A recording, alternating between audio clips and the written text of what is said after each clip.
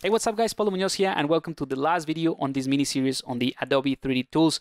This video is all about rendering and I'm going to show you how I set up the project in Adobe 3D Stager with all the lights and the shading and all of that. So it's a lot of fun. Um, it's a really good software. I love the simplicity of it and the quality that you get from it. So let's go ahead and get started. All right, so here we are in 3D Stager. I just went ahead and drag and drop the FBX with the low res mesh into the 3D viewport and you can select the whole mesh and use the manipulators to scale and move and rotate the whole scene. Now, a couple of things that you notice that are different from the original file that um, that I showed you in ZBrush is that this file has a bunch of like water drops and also some fibers along the the branch. But again, this is because this was a testing project, so I was testing a bunch of different things like refraction and, and that sort of thing. Uh, but I completely removed that towards the end, so uh, you can ignore it for now. So one thing that I like to do um, is focus on one material or one shader at a time. So I just hit everything using the, the visibility toggle and just left the, the lizard or the skin by itself. And I change the environment light by dragging and dropping from the library to something that is more suitable for the type of shot that I'm looking for. So kind of like a forest or jungle type of thing.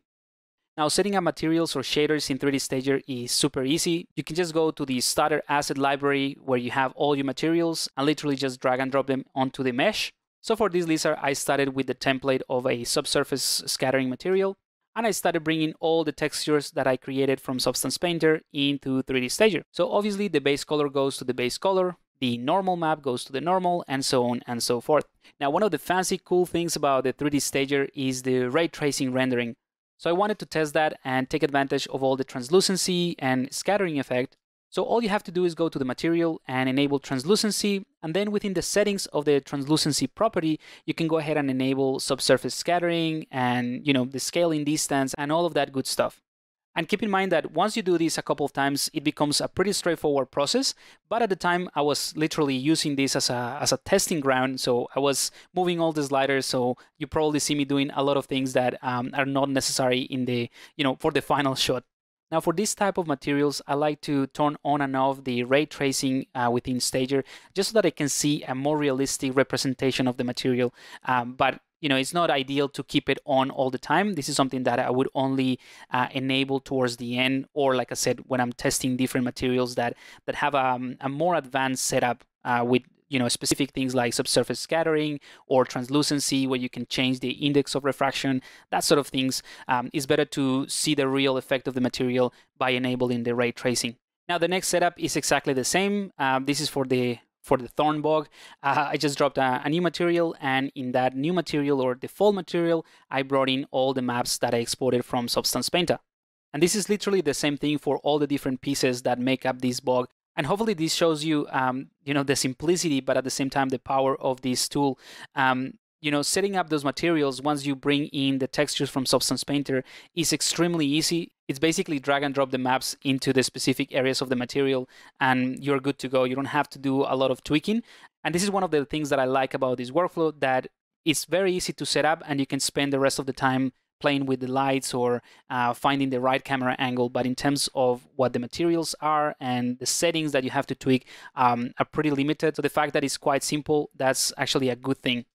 And in this part, you see me tweaking a little bit of the um, the coding, and this is something that, uh, again, I was just playing around with different options and, and testing different things. But uh, for example, if you're doing like a, like a car surface or something like that, you can enable this uh, extra layer of coding and configure the roughness of that very thin layer separately from the rest of the textures, for example, that you exported from Substance 3D Painter. So that's kind of like the effect that you see uh, more prominent here on the uh, bug eye.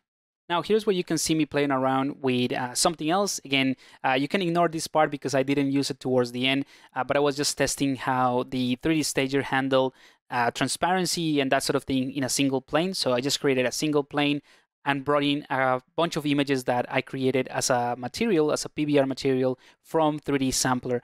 Um, and I just literally took like, I think it was um, a dragonfly wing, I believe, and I created a material out of it. So I generated the the normal map, the transparency, all of that within 3D Sampler, and just using a plane, like you can see here, I was trying to recreate uh, what it could be some kind of wings.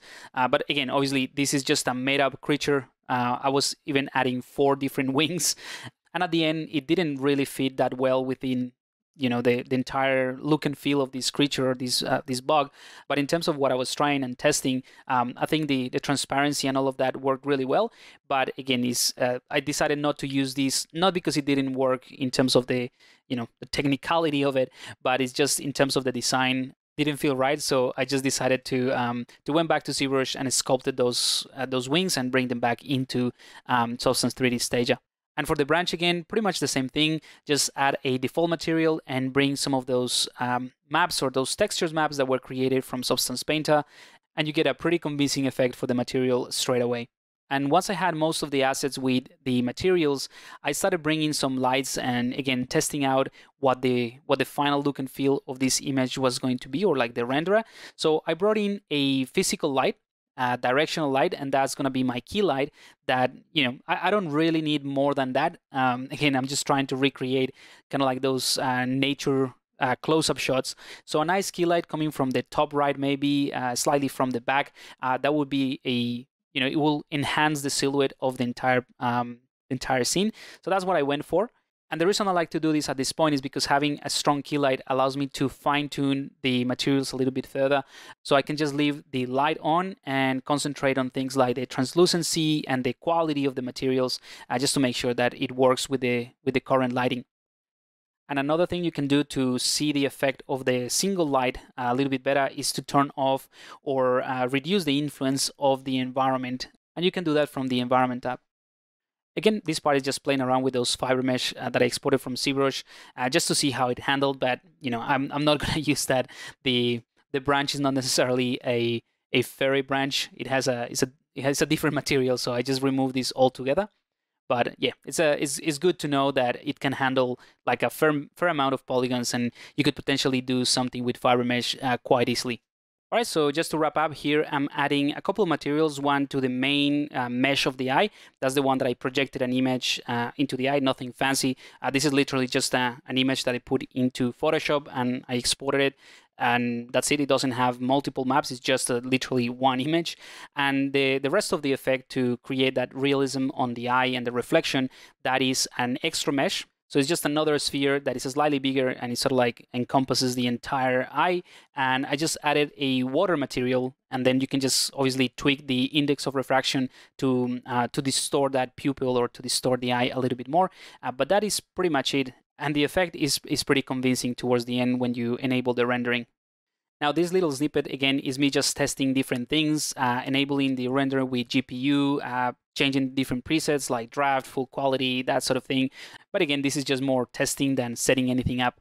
And the final stage of the process really uh, for me is just creating a new camera, which is pretty easy to do here in 3D Stager. Just click on a new camera and you can start framing that camera for the final shot. I also went to the Unsplash website and found a pretty cool and simple image that uh, that could work as a background. And in Photoshop, I just added a little bit more blur and did some tweaks of the of the lighting and the contrast and exported that as a single PNG that I drop into the background of this project here in 3D Stager. And having a background image really helps to uh, fine tune the lighting on this setup, especially to make sure that everything feels integrated and, and part of the same thing because ultimately I was going to use the same background for, um, for all the shots. And once I had the camera uh, kind of like set up in the way that I wanted to create at least one of the renders, I realized that I needed a bit more of a feature light. So I created a spotlight that emphasized the subject of this uh, render a little bit more and you can barely see the difference. Uh, but again, it's just about the subtleties in this case. So you have the key light, which is this directional light that is producing the, the shadows and, and the main source of light and all of that. And then on top, you have a spotlight that, you know, brings in additional highlights and is just a very, very subtle addition to the, to the final render. And finally, to complete the effect of these renders, I selected the camera and enabled the depth of field. And that obviously is gonna uh, recreate that sort of nice photographic effect and, you know, bringing it closer to um, what the initial intention was, uh, which is kind of like a nature shot of like a tiny bug or, you know, something quite small. And that's when you can see the very exaggerated uh, depth of field with the, with the blurry background and, and that sort of thing. All right, so that's pretty much it in terms of the rendering. Hopefully you have found some value in this and the rest of the videos of this series. Uh, I just wanted to give you a, a, breakdown of this specific project that I use uh, as my testing ground for these Adobe 3D tools. And if you're interested in learning this type of tools and workflows, what I would recommend is to do pretty much what I did, just uh, come up with a project, the simpler the better, and just taking it all the way through uh, all the different tools. And I can guarantee you, you'll learn a lot just by testing different things. Um, that's pretty much what I did with this project. So hopefully this series has been of help. Let me know if you're interested in seeing more of this type of content, and I'll see you in the next video. Cheers.